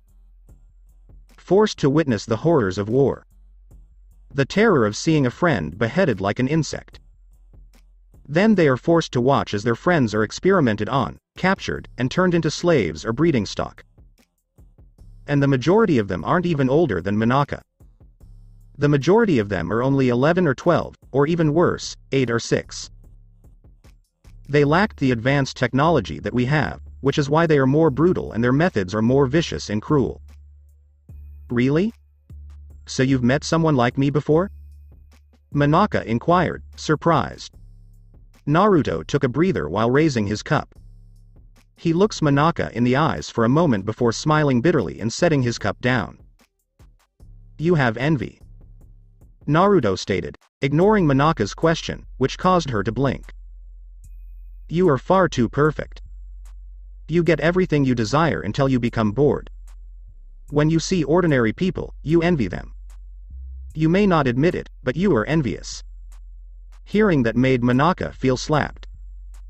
Her bright eyes had turned cold, and her angelic smile had vanished, replaced by anger and a cold expression. How do you know this? She muttered something coldly. What Naruto said hit her right in the gut. Despite her dismissive attitude toward the world and desire to find interesting things to entertain herself, she is jealous on the inside. She is envious of people who can show genuine kindness and gentle manners. Not like her disguise. Naruto was unconcerned by Manaka's cold expression, instead flashing her a smile, because I had a pal. To me, he was like a brother. We had similar lives and histories. But, in the end, we took different roads. As a result, he became envious of me. He was envious because I had grown stronger and he felt like he was always following me from behind. Hearing Naruto's words, Manaka's eyes narrowed slightly. She didn't understand how what he said related to her. I'm not sure how it relates to me. Manaka spoke up. My friend, you see, is similar to you. Everything was handed to him. He was perfect, just like you, and everyone adored him. But he didn't return it because he was focused on his goal. In contrast to your desire for something interesting, his goal was vengeance. Naruto continued as he looked her in the eyes, short story, he obtained his vengeance, but it was ultimately futile. He began to blame everyone except himself because he envied them, people who laughed normally and were happy. He paused and gave Manaka a bitter smile. You, Manaka-chan, are similar to him. True, you have different objectives and desires, but I can see it in you. You're on the same path as he is. After you kill one person, I'm sure you'll kill more until you're beyond saving. Hearing Naruto, Manaka's expression became neutral. Her blue eyes were closed and she spoke slowly, what makes you think I care about that? She posed a challenging question. Because you're still envious. Naruto responded simply, you're envious of them, and you know deep down that what you're about to do is wrong. That demonstrates that you still have morals. He gave her a small smile, and that's a good thing because it shows you're still alive. You may be a monster, but you still have limits. Manaka, who was listening, had wide eyes for the first time after being angry at Naruto mentioning her jealousy. Is it possible? Could I really realize what I did was wrong? No. I know it's wrong to be curious about how I'll react if I kill people, but it's the only thing I find amusing in this world. To discover something new. Manaka pondered with a blank expression on her face. When Naruto noticed her discomfort, he slowly stood up and patted her on the head, surprising her.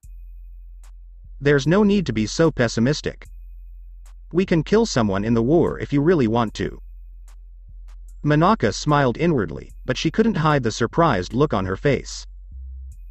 But, don't you hate killing? I don't despise killing. After all, I'm emperor for a reason. Naruto snorted in response, we'll try to satiate your hunger by murdering some people. You want to see it with your own eyes, right? Then that's fine. People will die in this war. You can use it as a disguise to avoid being pursued by the Magus Association. But, why? Why do you want to assist me? Manaka inquired. Because. Naruto smiled and knelt down to her height, who am I to stop you from finding something interesting? All I need to do is point you in the right direction. Servant Saver is my name. My summoner must be saved before anyone else. He finished with a friendly smile. And with that, a beautiful and angelic smile gradually appeared on Manaka's face. A happy smile because someone accepts her. Someone who recognizes her for who she is rather than what she has done. Someone willing to accompany her and guide her on her journey. Even if her path is incorrect, this man will still follow it. Normally, if someone said something like that to Manaka, she would kill him, her before turning away, unconcerned by their words. However, Naruto. Somehow, something about Naruto made her believe in him when he spoke like that. It was as if she were standing in front of the world's savior, a man capable of saving even a serial killer. You must thank a plus plus charisma for this. Saver. It appears that your class is a good fit for you, she thought with an inward chuckle. Thank you very much, Naruto. Naruto only grunted in response before standing up and drinking the tea that had been served to him. Say. Naruto, you know a lot about me, but I know nothing about you. Could you tell me something about your time period? Manaka inquired, intrigued. Naruto came to a halt in the middle of his drink before finishing it and setting his the down. He paused for a moment before grinning and biting his thumb, drawing blood and performing hand seals before slamming it down on the table. Kuchiyose. Summoning. Manaka was taken aback when white smoke appeared on Naruto's palm, which was resting on the table. In the smoke was a scroll resembling one from the feudal era. As Naruto opened the scroll, Manaka noticed strange symbols. Naruto then places a hand on the middle symbol, similar to runecraft but different. Poof. Manaka blinked as a single book appeared on it. Naruto took the book, rolled up the scroll, and handed it to Manaka. The story of the extremely brave shinobi? As she took the book, Manaka read the title with a puzzled expression. Before I explain my life, you should know what era I lived in. My godfather wrote that book during his journey. First, read it, and then I'll tell you about myself. With a grin, Naruto suggested. One day after the fight with Lancer, Naruto is present. 12:37 p.m. Naruto was standing in an alleyway, looking thoughtful. He came alone with her master. It was difficult to persuade Manaka's father not to accompany her. Naruto didn't need Hakuno to accompany them because he would jeopardize his plan to destroy the Grail. If Naruto told Hakuno about his goal, Hakuno would immediately contact the Magus Association, drawing too much attention to himself. Naruto didn't want to create unnecessary chaos. Naruto was confident that Manaka would not mind if he destroyed the Grail. The little girl had no idea it existed in the first place, so it was fine if it was destroyed. Manaka had to persuade her father that she wanted to experience the war alone and see how real fights are so she could understand Magus life and blah, blah, blah. Fortunately, it was a success. Back on topic, Naruto was thinking about his situation as a heroic spirit right now. The problem is that Naruto had no idea what a hero was. He lacked detailed information. For example, in the story about Liu Biyu, he only knew that Liu Biyu was a general in his previous life but lacked information about his abilities. This is due to the fact that the throne of hero he entered was not the entire throne of hero. He did not properly enter the throne. He didn't know anything except the fundamentals of this world, such as Magus, Mana, Od, technology, and so on. It was more like the hero's throne wasn't finished processing his life. The program is still not finished. There was no copy of him, and the throne couldn't download his entire life because he entered in a unique way, and his bond with Rikudo's chakra as well as the pure world of his world also affected the throne. As a result, he didn't know much about heroes like King Arthur or Cao Cao. He had no idea why King Arthur had fallen or what his weapon was. He was basically screwed. He knew nothing about his opponents except that Lancer used a lance, Archer used long-ranged weaponry, Saber used a sword, Berserker was a mad servant, and so on. But there was at least one bright spot. His adversary will not know anything about him either. No, they will recognize Naruto. He was emperor in life, they'd know Naruto was an assassin, they'd know Naruto was an orphan with a bad childhood, but that's it. They won't be aware of his abilities. Apart from the fact that he was a ninja, of course. There's no need to think about such things. I need to gather more information right now. Caster and Assassin are in Ryudo Temple, Archer is with that twin-tailed girl who is the Tohsaka heiress thanks to the information of Manaka father, Chan's Lancer always scouts the city, Rider was still a mystery since I haven't met her yet, same with Berserker and Saber is still unknown. While rubbing his chin, Naruto reflected. Naruto. Naruto. Naruto. Naruto turned around to face his master. She had pale skin like Sasuke, neck-length light blonde hair like Ino, and bright blue eyes like Sasuke. She was dressed in a light blue gown that exposed her shoulders and back. Her dress has a short skirt that ends a few centimeters below her hips. She also wore gloves to conceal her command seals. She was also covered in blood. Are you finished, Manaka-chan? Naruto inquired, a bitter smile on his face. Of course, Naruto let Manaka go free to kill people. But the people Manaka killed were not ordinary people, but criminals. Like rapists and also some who sell narcotics to teenagers. Scum. Naruto didn't mind killing people in this manner. Rapists will be tortured until they die in his kingdom. Slavers will be turned into slaves twice as many times as their victims. Aha! Manaka responded with a big childlike smile. I'm finished. Why didn't you kill any of them? I wanted to see how you kill people. She pouted. Manaka-chan, my method of killing is straightforward. Stab them in the head with a kunai and they're dead, Naruto deadpanned, I don't think that's very special. Then use a unique one. Manaka said in a childish tone before turning and pointing to one of her victims who was still breathing on the ground, I even left one for you. No, Naruto replied. Please? I'm interested in seeing your ninjutsu. Only once. Naruto's eyes twitched as Manaka begged with a cute face. Alright, alright, Manaka smiled as Naruto surrendered. He takes a step forward and performs a one-handed seal. Sorry, nothing personal, but you must pay for your crimes. How many women have you raped? Four? That's a death penalty for you. Fire release. Grand fireball technique. Katon. Gokakyu no Jutsu.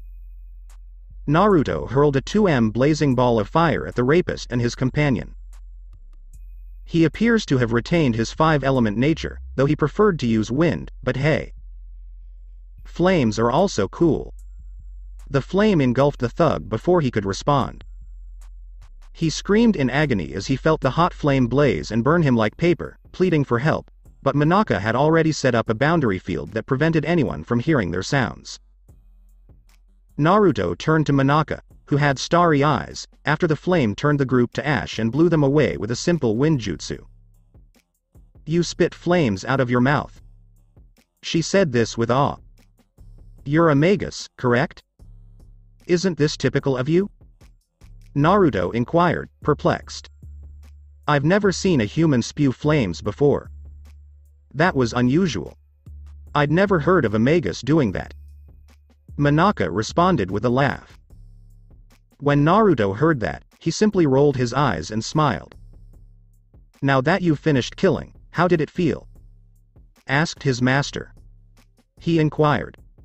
Manaka paused her giggling and thought for a moment before smiling like an angel. It was an enjoyable experience.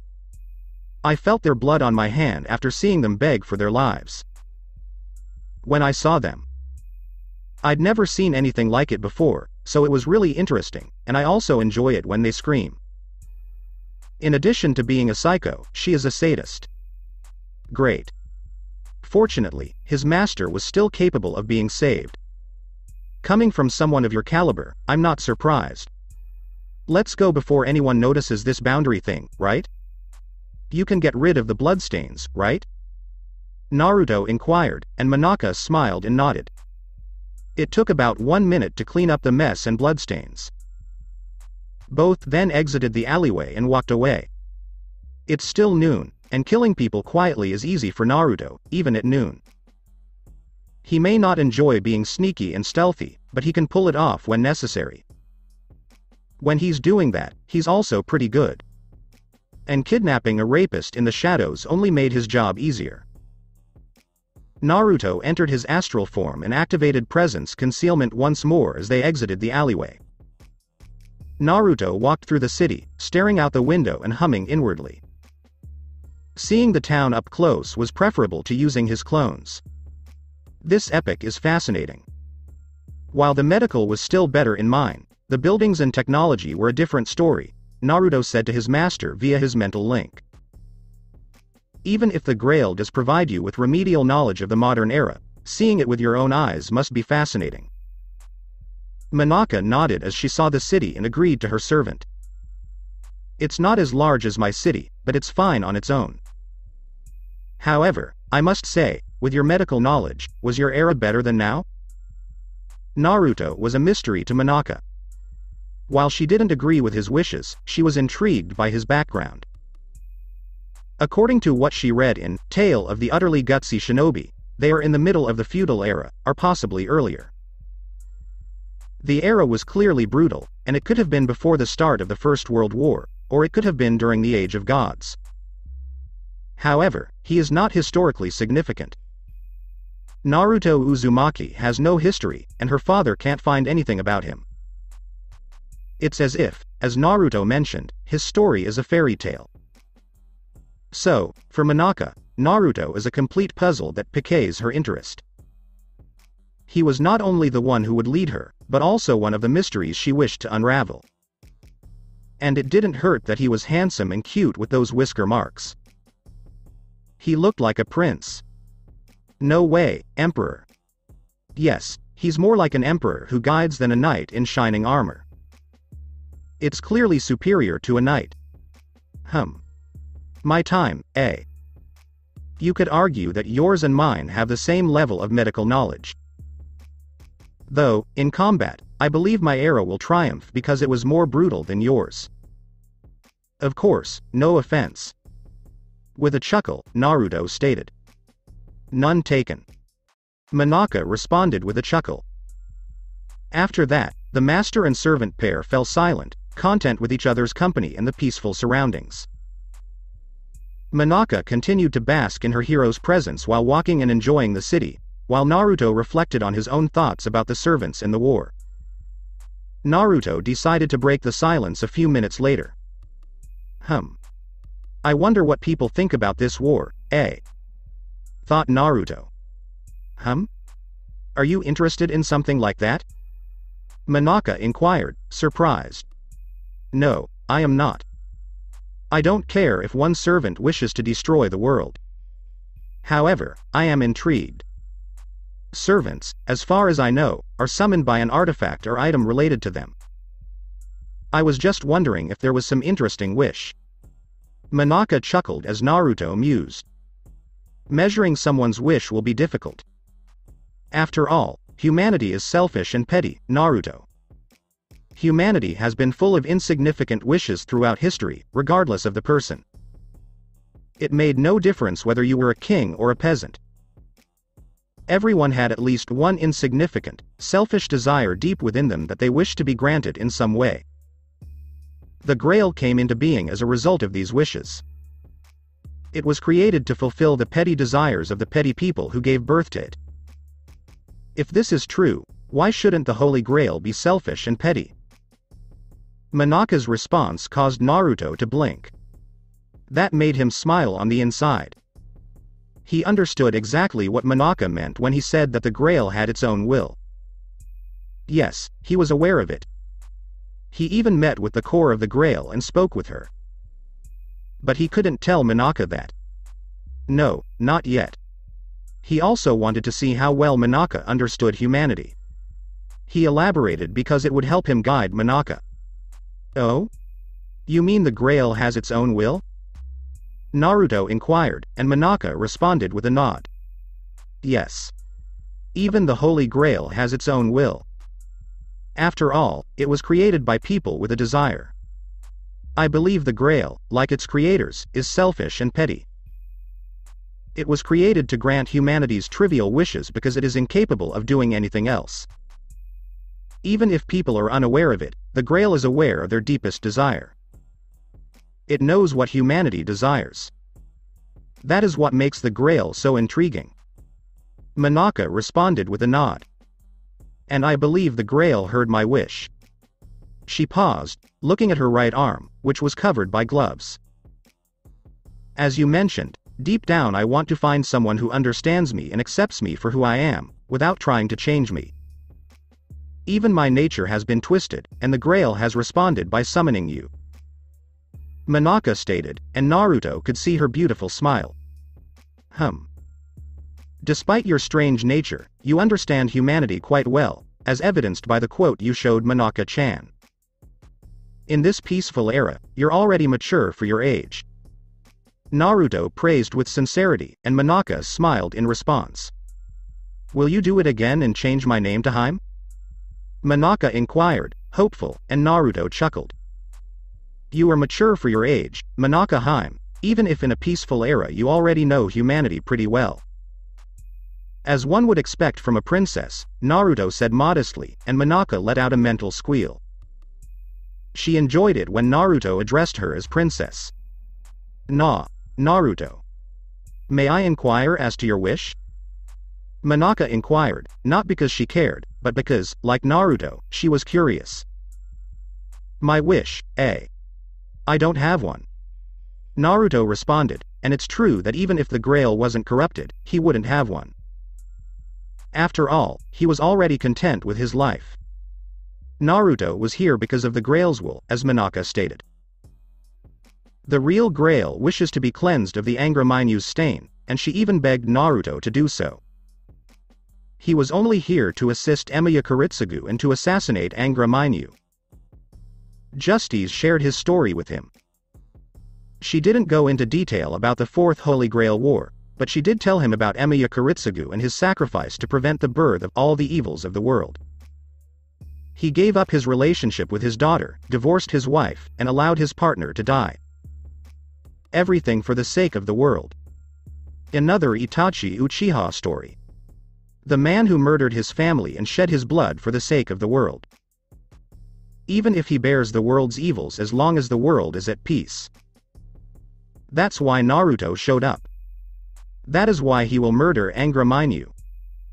This thing even showed Kiritsugu his family's dream and forced him to kill them. There is no mercy. As soon as the Grail was complete, the largest Bijudama capable of destroying an island was launched at it.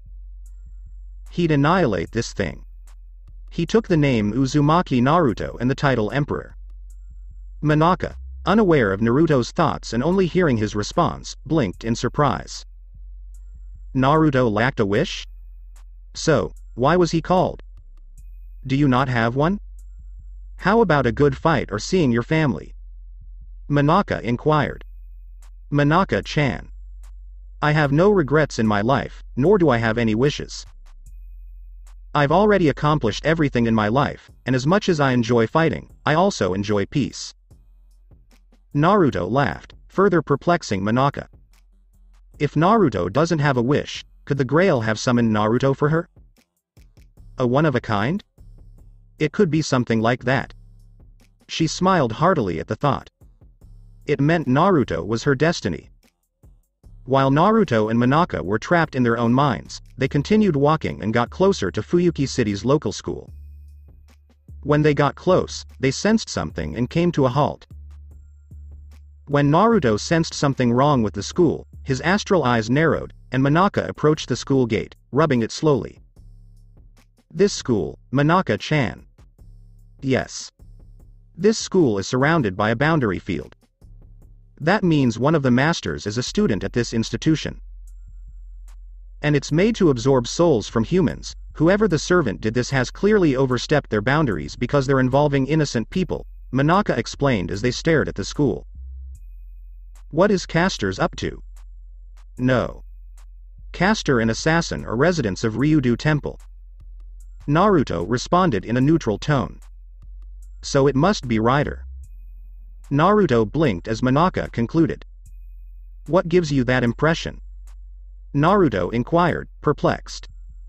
Archer, Lancer, and Saber would never do something like this. They are knight servants who fight with weapons, and it was unusual to see one of them use a boundary field like this. Berserker is obvious because the servant of madness is Caster a rider. Caster is at Ryudo Temple, leaving only Rider.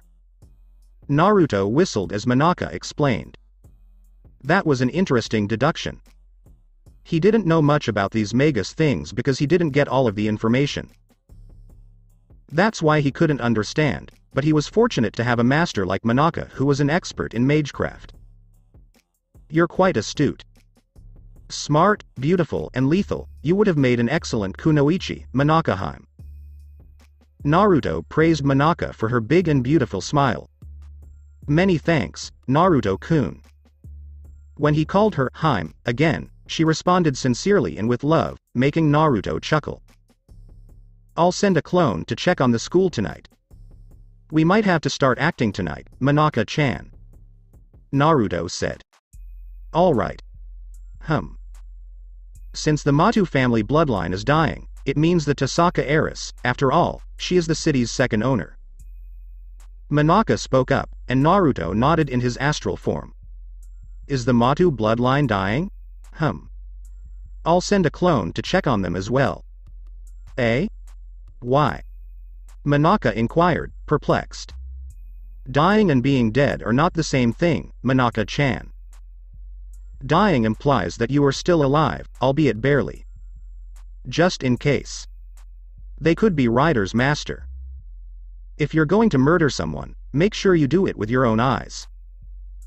Naruto delivered a speech. Facing a being like Orochimaru made him very cautious about killing people. Unless Naruto saw it with his own eyes, the enemy could still be alive. They will start their move tonight, possibly without fighting. But they'll be scouting openly now. There's no reason to hide any longer. Naruto was already aware that six servants other than himself had been summoned.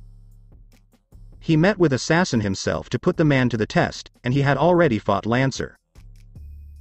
That's more than enough, and if he's lucky, he'll see another pair of servants fighting each other to see who is the strongest. And knowing his luck, he was certain that a battle would take place tonight. Night. And once again, Naruto's luck was on his side as he stood on the Homurahara Academy field with Manaka by his side. They were now two kilometers away from the building, and while he didn't have the sharp eyes of the archer class, he could see that far thanks to Manaka's magic. Naruto and Manaka were able to see further than normal human eyes by using formal craft. While not as good as Archer's keen eyesight, it was adequate for this distance. They were surprised to see Archer using swords instead of a bow and even dual-wielding as they watched the intense battle between archers and lancers. A sword-wielding bowman. Interesting. Naruto muttered something. The battle between Archer and Lancer could be described as a draw. At first, Archer pushed Lancer back, but Lancer gradually began to push back, and now it was clear that the servant of the spear had gained an advantage over the servant of the bow. Archer's weapons broke many times, just like Naruto's, but Archer kept summoning another weapon, which broke. Naruto observed that Archer's weapon had already been destroyed or knocked off 27 times, but he kept summoning another one. Lancer then focused a great deal of power into his spear, indicating that he was about to use his noble phantasm. This is what he had been looking forward to. He was desperate to witness one of these noble phantasms in action. While Naruto concentrated on the battle and learned their strategy, Manaka's gaze was drawn elsewhere as she caught something. Oh, there are witnesses. Manaka mumbled. Naruto narrowed his eyes and followed Manaka's gaze. A red-haired adolescent stood back and watched the battle from a safe distance. There should be no witnesses to this war, according to the rules. They were either eliminated or had their memories erased because the boy had witnessed something he should not have. While he didn't like it, rules are rules, and if the secret of Magus' existence was revealed, there would be chaos. Would you like me to take him out? Naruto inquired. He may not be good at throwing from afar, but thanks to his servant abilities, he could undoubtedly hit the boy with a wind chakra enhanced kunai. Manaka was about to respond, yes, but she paused when she saw Lancer notice the boy's presence and the boy flee from him. Naruto also noticed this and promptly silenced himself while he continued to watch. They noticed Rin and Archer pursuing Lancer. It appears that Tohsaka Eris wanted to save an innocent student. Given that she was the city's second owner, she was actually quite responsible. Unfortunately, they saw Lancer leave after a brief moment, which meant the boy was already dead because Rin and Archer had left not long after him, implying they were too late. Lancer has already dealt with that kid. Why don't we scout elsewhere? Manaka proposed. Where? Naruto inquired. It's a restaurant. Manaka smiled. It's just you and me. Naruto swore he saw sparkles in her eyes as she declared. That was another issue. Manaka appears to be becoming more clingy. It's almost as if the princesses are seeing their knight in shining armor. Let's at least follow Lancer. Naruto did a deadpan. Why? Manaka asked, pouting. Naruto was about to respond when he noticed Rin and Archer leaving the school. He noticed they didn't carry any bodies, which was unusual, and judging by Rin Tohsaka's nature thus far, she wouldn't destroy the body, which means. Could she have healed the boy? But, if she didn't want him involved, why didn't she keep him under guard and explain everything? Lancer will most likely go after the boy again if he discovers that he is still alive. Naruto's pupils constricted. The little girl must not have been too sharp to miss such an obvious point. Anyway, that wasn't his problem. As much as he wanted to help the boy, it wasn't his responsibility. He had his own problem with the Grail, and he was no longer the naive boy who wanted to help everyone. I suppose we can go eat for a moment. I'll send a clone to monitor the school. Naruto declared. Yay. Manaka chirped happily like a child who had received a gift, and Naruto smiled before grabbing Manaka in a bridal manner, causing the woman to let out a rare eep. That. That was adorable. Naruto paused, blinking. He admits his master is cute and acts like an innocent child, and he might have been fooled if he hadn't seen her tear apart a rapist's heart with an angelic smile this afternoon. Manaka blushed as Naruto carried her, then grinned lightly before snuggling closer to his jacket. Why let this opportunity pass you by? Naruto just shook his head at his master's antics, but he could tell his master was becoming more intimate with him. He gave Rin and Archer one last look before leaping away with his master. Emiya residence after midnight. Shuru staggered home, relief washing over him in a cool wave as he closed the gate behind him. He tottered into his living room, barely remembering to turn on the lights before collapsing onto the floor, completely exhausted. He grimaced as he remembered being stabbed with a spear. I'm curious who saved me. If I ever meet them, I'd like to thank them. He mumbled, still barely aware of his surroundings as he considered his resurrection. As he sat against the wall, he let his mind wander, trying to figure out how he was still alive after being stabbed through the heart with a barbed spear. Even thinking about it reminded him of the sickening sensation of the spearhead in his chest. he could still feel the stab in his chest. Damn. I'll have nightmares about this for months. Shuru mumbled, What the hell happened back there? He wondered as his tired mind replayed the battle. Those two. They were attempting to kill each other. And the weapons. He didn't know how to put it, but those two fighters couldn't be human, and their weapons were anything but normal. None of his attempts to comprehend what he had witnessed could assuage his fears and confusion.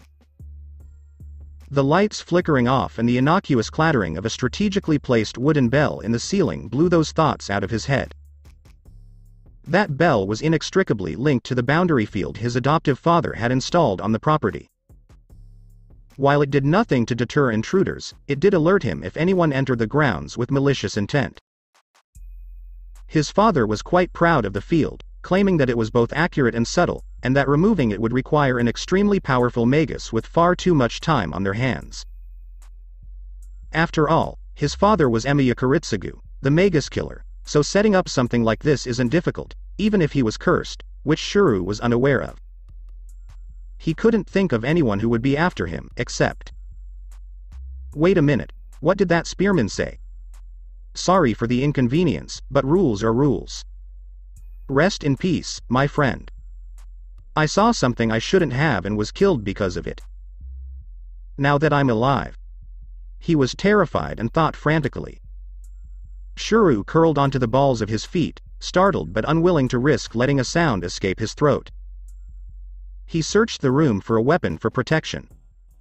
Of course, he didn't have anything other than a metal tube lying around. The tube held a limited edition poster that Fujine had brought here the day before. He discovered the hard way that the damn thing was solid metal. Right now, however, it would be ideal. Continue your journey. The self-suggestion allowed him to channel his magic through the item in his hands, he intoned. Analyze the basic structure. Reinforce basic quality. Trace. Removed. Shuru finished his spell and returned to full awareness. Even though he was proud of himself for casting the normally difficult spell, he couldn't think about it when an intruder was in his home. Shuru didn't have time to think about it further because a surge of murderous intent struck him, causing his spine to conveniently replace itself with an ice rod. He barely had time to react before throwing himself against the opposing wall and rolling to face his attacker. Blue armor, Dark hair in a ponytail, crimson eyes, and a spear of the same color. Had his assassin already found him? Well, Redhead, you've proven to be a whole new breed of pain in the ass. Never before had I had to kill a man twice in the same day. Lancer stated, his face bored. Now, do me a favor and stay still. It'll hurt less for you that way. He grunted and thrust his spear with lightning speed.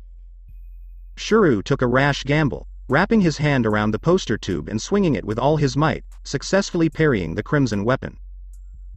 Huh? The attacker questioned his improvised weapon before smiling with a feral gleam in his eyes.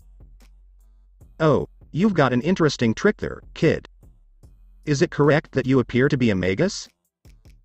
Despite the cold realization that he had no chance against this guy without some serious divine intervention, the red-headed magus in training kept his cool.